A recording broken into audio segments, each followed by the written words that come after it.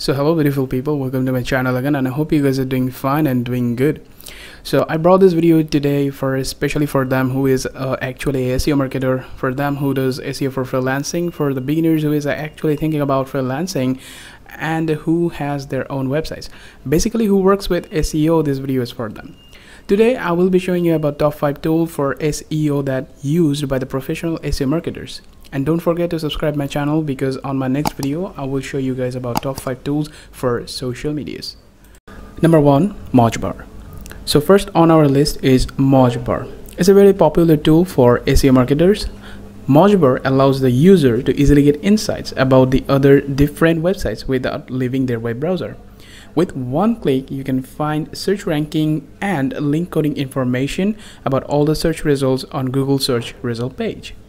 Number two is check my links. Check my link is a link checker that crawls and scans through your web page and looks for broken links.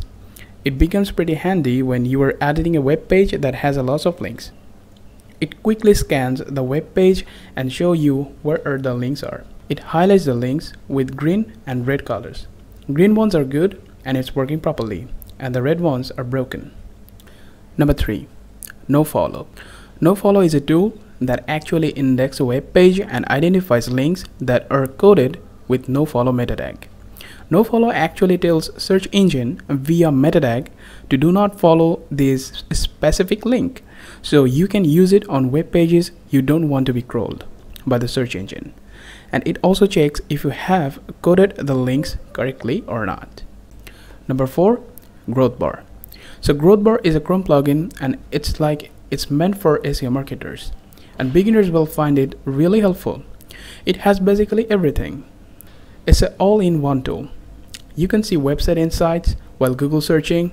You will see ranking difficulty for keywords, keyword suggestions, keyword trending, traffic details, backlinks, Google Ads, and many more. It's a virtual having for SEO marketers. Number 5. Impactana. This tool actually shows you the engagement to a web page such as CTR, backlinks, time the viewers spending on a page, etc.